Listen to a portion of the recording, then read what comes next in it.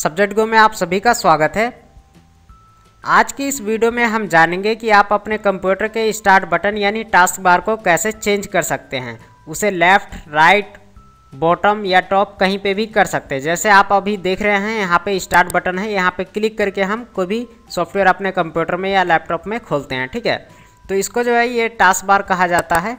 तो इसको आप चेंज कर सकते हैं। ये टास्क बार है, ठीक है? जब यहाँ राइट क्लिक करेंगे तो आपको यहाँ पे पढ़ने को भी मिल जाता है। बहुत सारे ऑप्शन है यहाँ पे।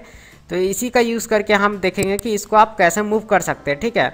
इसको आप कैसे मूव करेंगे? लेफ़्ट साइड में शिफ्ट कर सकते हैं या राइट में या बॉटम में या टॉप में। बॉटम में तो ये होता ही है। इसको चाहे तो आप ऊपर भी शिफ्ट कर सकते हैं यहाँ पर ठीक है? तो आइए जानते हैं।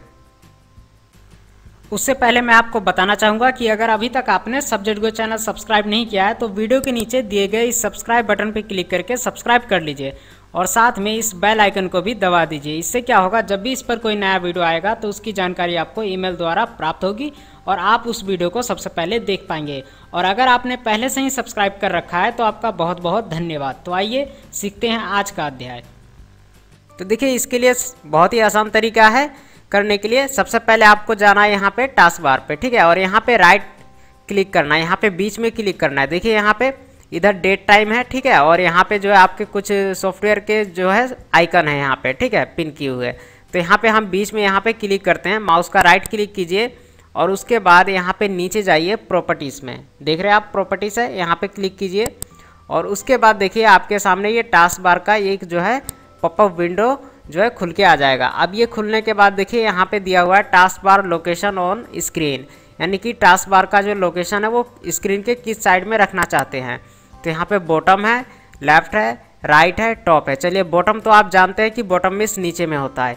मैं इसको टॉप करके आपको दिखाता हूँ। यहाँ से हमने टॉप ले लिया और टॉप लेने के बाद करते हैं अप्लाई और ओके तो देखिए यहाँ पे टॉप में जो ये शिफ्ट हो गया। तो इस तरह से आप चेंज कर सकते हैं। और अगर कभी गलती से आपके कंप्यूटर में किसी ने भी ऐसे कर दिया है और इसको फिर से सही करना है तो फिर से बहुत ही आसान तरीका है।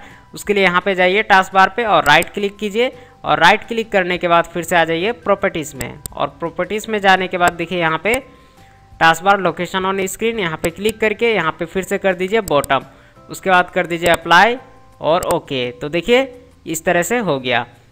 तो इस तरह से आप कर सकते हैं। उम्मीद है आपको ये टिप्स पसंद आया होगा। अगर आपको ये टिप्स पसंद आया तो इस वीडियो को लाइक और शेयर ज़रूर कीजिएगा। और कमेंट बॉक्स में मुझे लिख के बताइए कि ये वीडियो आपको कैसा लगा। वीडियो देखने के लिए आपका बहुत बहुत धन्यवाद। मिलते हैं फिर से नेक्स्ट वीडियो में। तब तक के लिए बाय।